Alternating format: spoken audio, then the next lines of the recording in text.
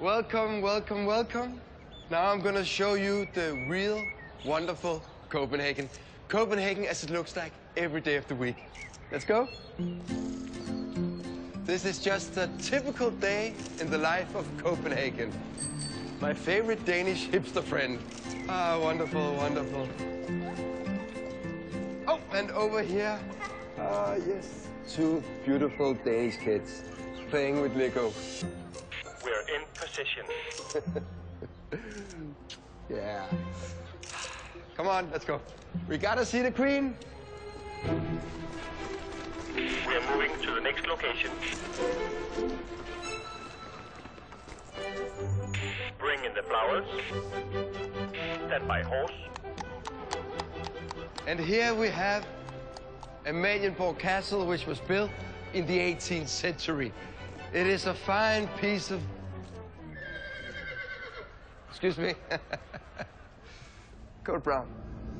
Code Brown. Can you hear me? The horse is made number two. Remove now. Wow! Magnificent Danish history, ladies and gentlemen. Yeah! Amalienborg Castle. Thank you. Moving on to Amalienborg Castle, where the queen lives. Bring in the fake queen. Oh, what is that sound? Wow. Just like in the fairy tales. Would you like to take a picture? Just a typical day in Copenhagen. In a few moments, we will arrive at the most famous sightseeing spot in Copenhagen called the Little Mermaid. The Little Mermaid. Yeah. I heard she's a bit boring. She's very small, isn't she?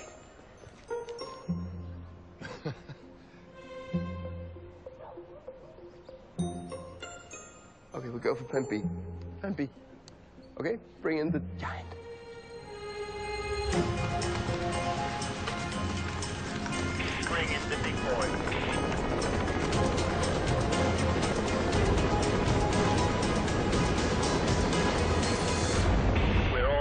Okay, let's go, let's go, let's go! Yeah!